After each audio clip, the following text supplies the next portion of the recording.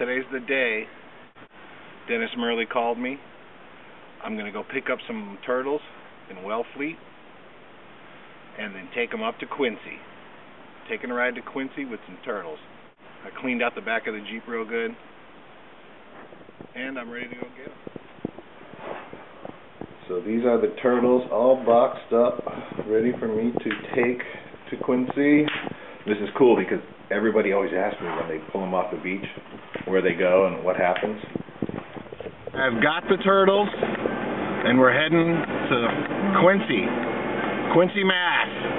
It's a good, um, I don't know, hour and a half from here. It's a great day, man. I'm already very excited about this trip. The turtles are all flopping around already. I can hear them in their boxes. They're all really safe. Take a look.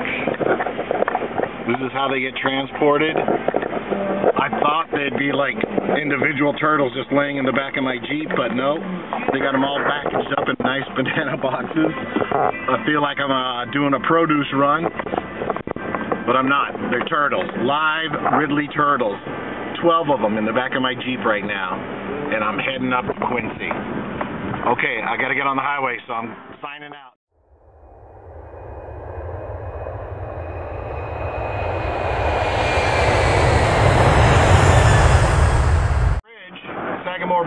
Coming up real soon, maybe half hour away from Quincy,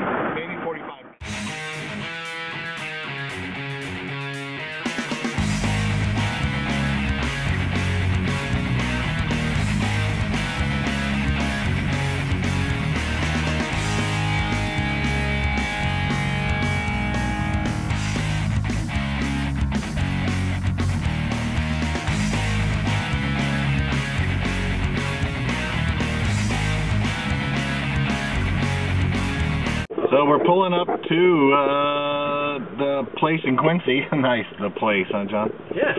Uh, there's a train in front of us. You mean the New England Aquarium Marine Animal Rescue Facility? That's the one. The place? The place. you know that place? Yeah, I'm pulling up next to the turtle ambulance. It's a Poor Parts Warehouse.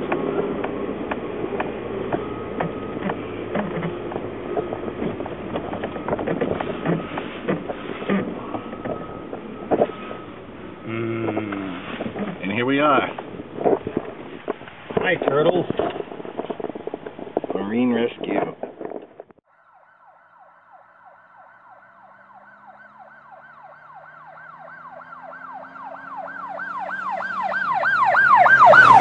Bring it close so I can look inside.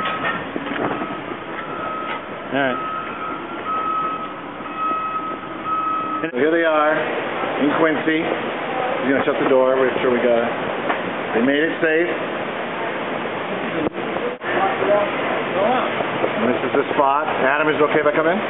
Just a little, little way. So they're gonna come into the ICU. I think they already have a turtle in there right now.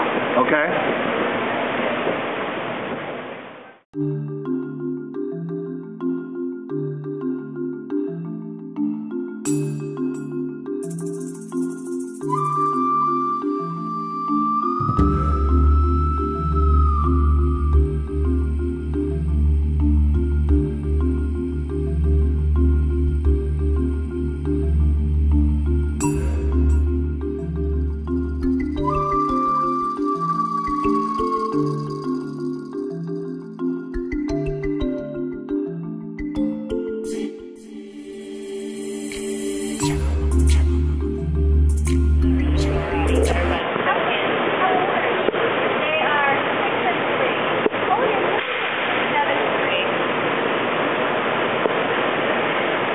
Now again, are, these vitamins you're giving out here?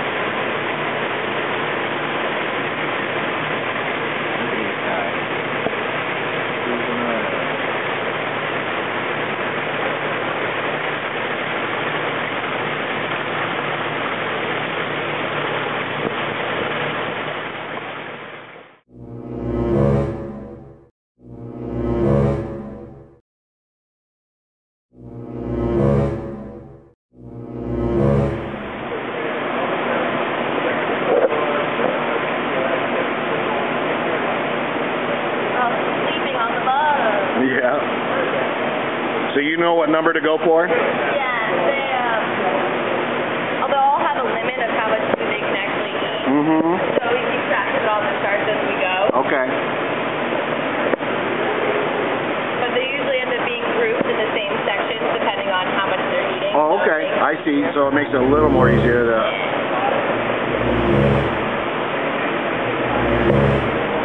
Oh, look at that. That's gonna be good.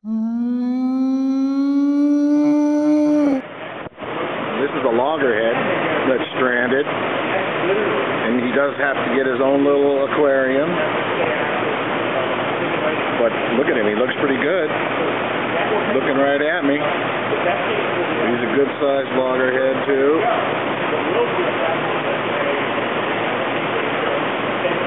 I want to thank Mr. Loggerhead for coming up. Look at that.